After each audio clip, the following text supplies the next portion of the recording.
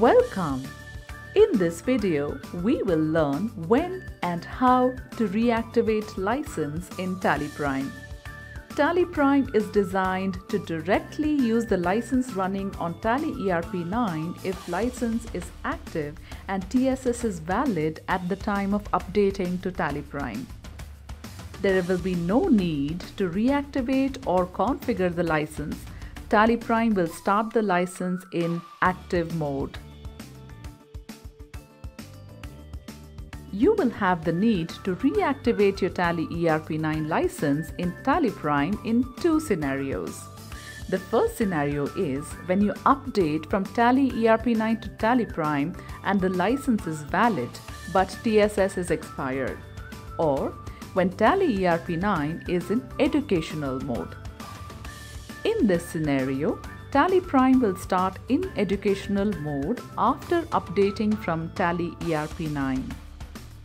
You can select Reactivate License option in the Startup screen and reactivate your license using your TallyNet ID and password.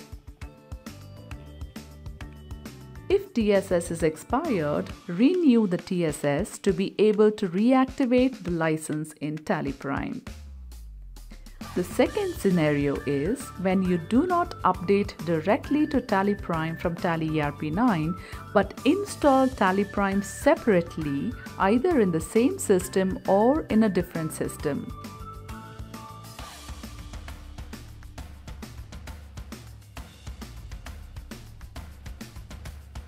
You will have to reactivate the license in TallyPrime using TallyNet ID and password.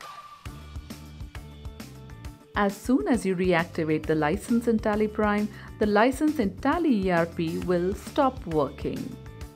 If you have installed TallyPrime in the same system as Tally ERP9, you can use the TallyPrime license in Tally ERP9 also.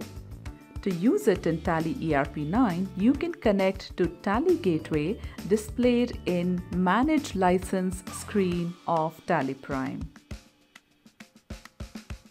If you do not want to reactivate the license immediately after installing TallyPrime, you can use it in education mode and reactivate the license later at any time by going to top menu, F1 Help, Settings, License, Manage License. Thank you.